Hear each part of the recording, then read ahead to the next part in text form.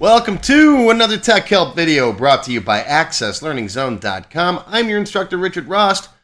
We're up to part six of my students and parents database. Hope you're enjoying the series. If you haven't watched parts one through five yet, you know what to do. Go watch those and come on back.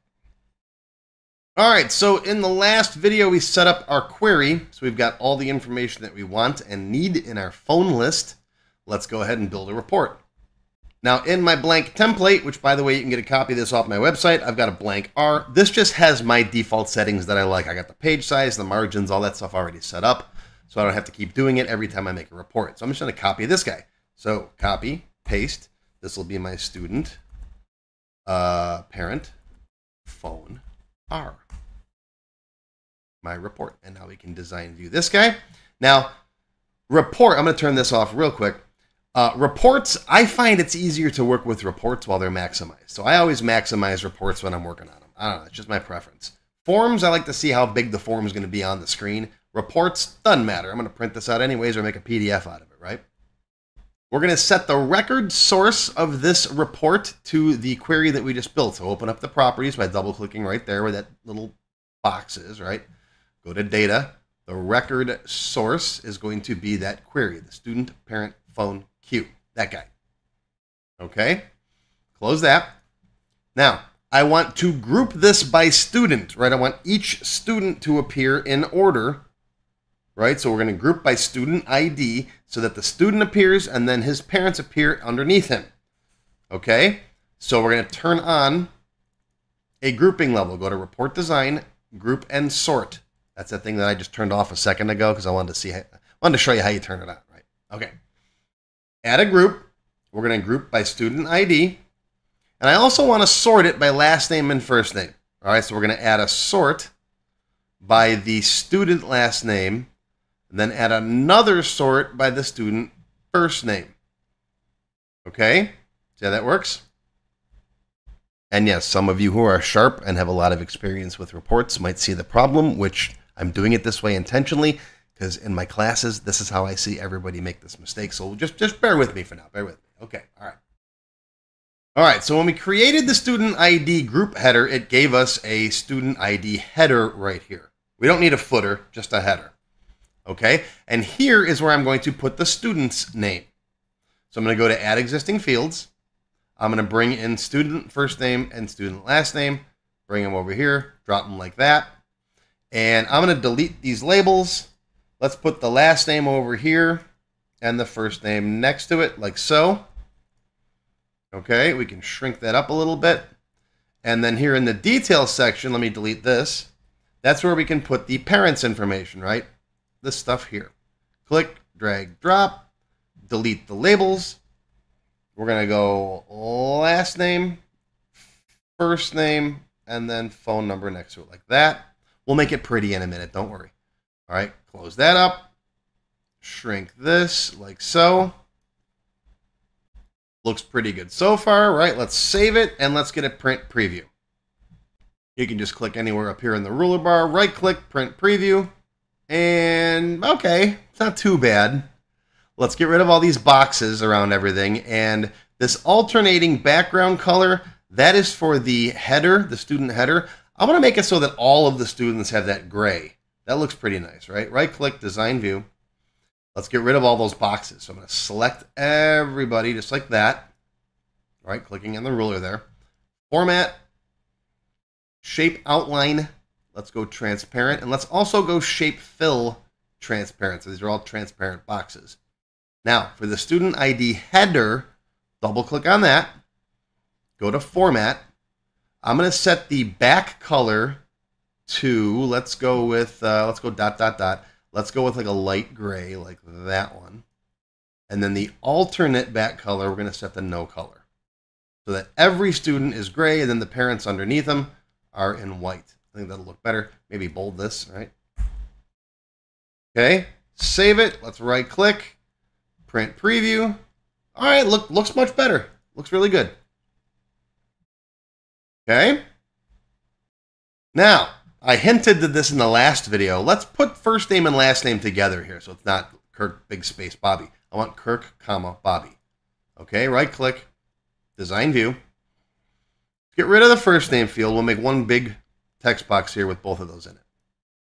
Okay, double click, and let's go to data. And it's student t dot last name. I'm going to zoom in so you can see this better. Okay, I want this to be equal to student t dot last name and quote comma quote quote quote comma space quote and student t dot first name, just like that. Now when I hit OK, Access puts the brackets around it for me automatically. Let me zoom in again so you can see that. Okay, all right, that's that looks normal. That looks right. Okay, let's save it and let's print preview. And uh, uh, uh, uh, enter parameter value student t. What's that? I shouldn't be getting this. I don't what? What's that all about? Okay, I'm getting pound names here. Now, this is one of my biggest pet peeves when it comes to reports and access. Okay? Take a look at what we got here. Student T dot last name. This is perfectly fine. There's nothing wrong with this. If you do this in a query, it works just fine, right? Let's go let's go to a query real quick. Create query design. Give me uh give me student T. Right? Here's first name, last name, and I'm gonna make a new field let's call it full name, which is student t dot first name and a space and student t dot last name. Okay. All right. Let's hit OK. All right. Access puts the brackets around everything for me. All right. I'll zoom in again to show you. Looks good. Okay. And if I run this query now, everything works fine. No problem. What's the deal with the report? Why isn't this working in a report? It's the same thing. Right? But when you run it, well, pre preview it, it doesn't work. All right, Sammy, definitely add this onto the access irritating list. Okay? What you have to do in forms and reports is this. You have to have student T here because you can't just say last name. Right? You got student T last name and you got parent T last name. Here's how you fix it. This is why I wanted to make sure I left this in the video instead of just making this a field in the query. You got to do this. Look at that. Leave the bracket around the whole thing. But you got to have the student t dot first name, student t dot last name. This is different behavior than how it works in a query, how it works in an SQL statement. In forms and reports, you got to do it this way. It's irritating. I know. I didn't make it this way. This is just how you got to do it. Okay? And now, print preview. And, oop, hang on. What did I do? Oh, I didn't catch this. I've got a circular reference here, and the circular reference is because the name of the object itself is student t dot last name. So you got to change that. Just call it student name. Okay? It can't refer to itself. All right. And now, there you go. Ah, type. What am I going to type error for? Hold on a second. Yeah, it it changed it here. See, this is where Access is trying to be helpful, and it's not. I changed the name of the control, and it also changed it down here. I mean, that's no, I didn't want you to do that. Student T dot last name. See, sometimes that auto renaming of stuff can actually be a hindrance. All right, third time's a charm. Ready? There we go.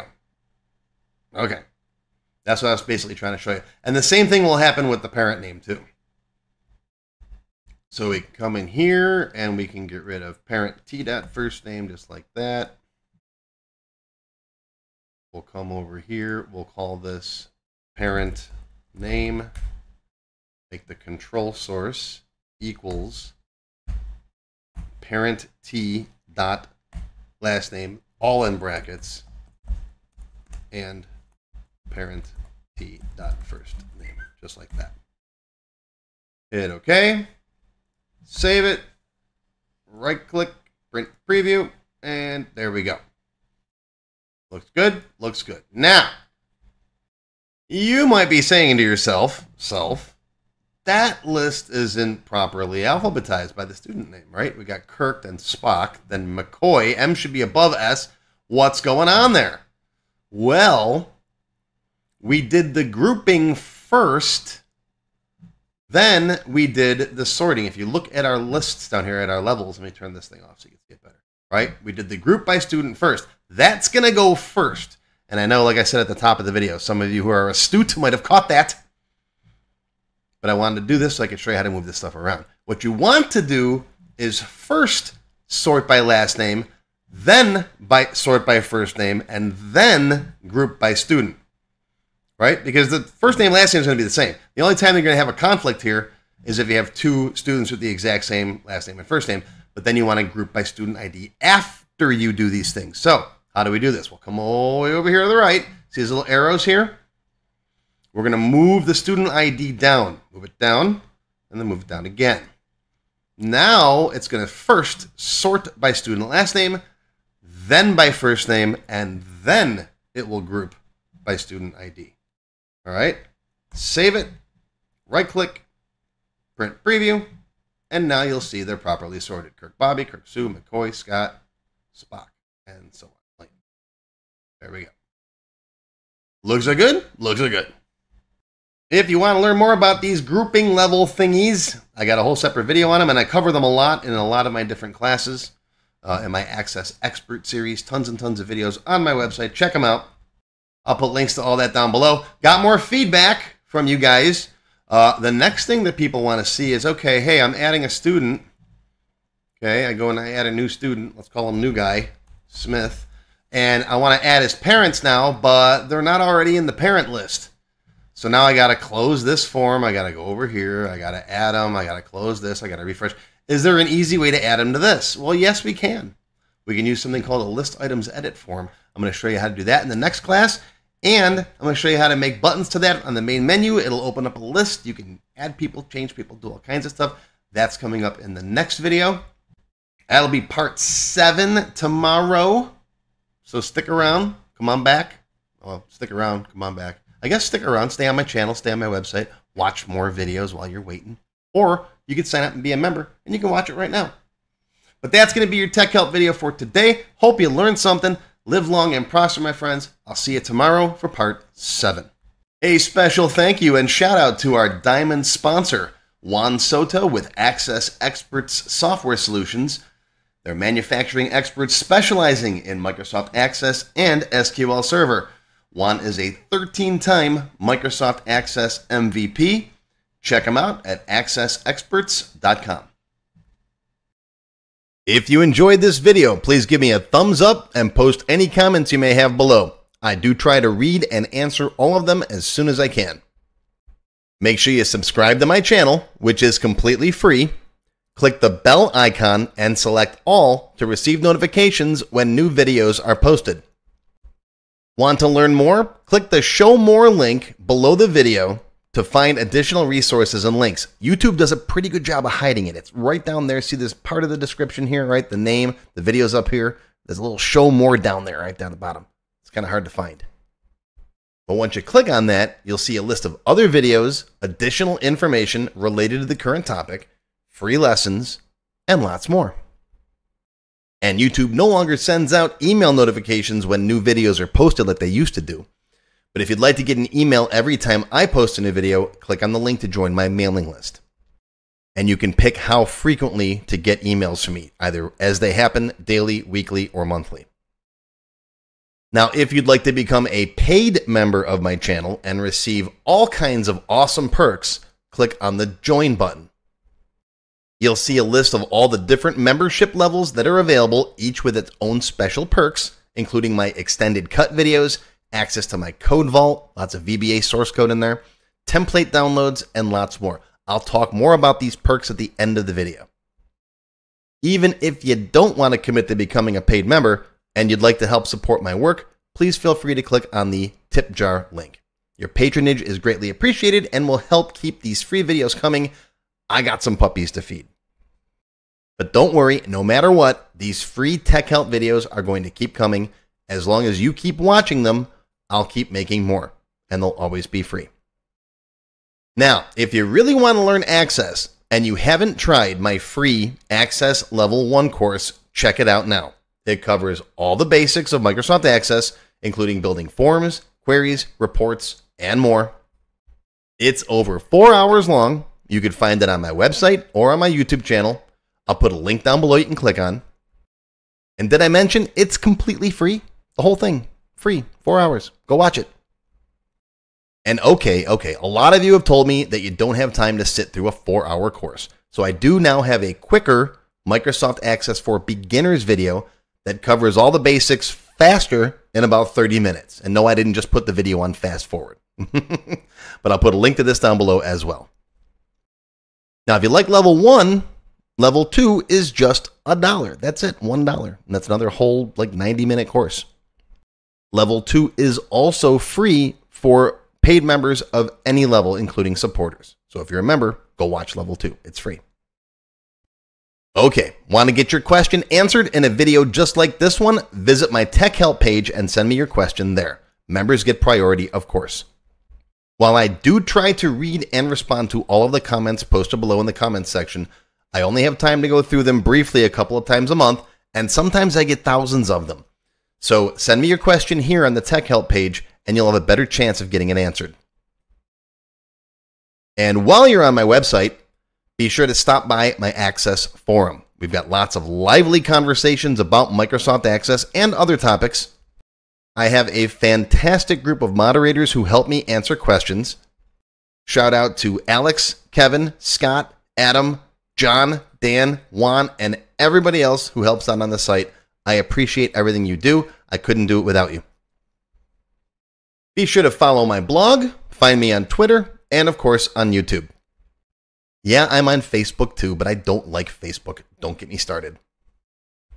Now, let's talk more about those member perks if you do decide to join as a paid member.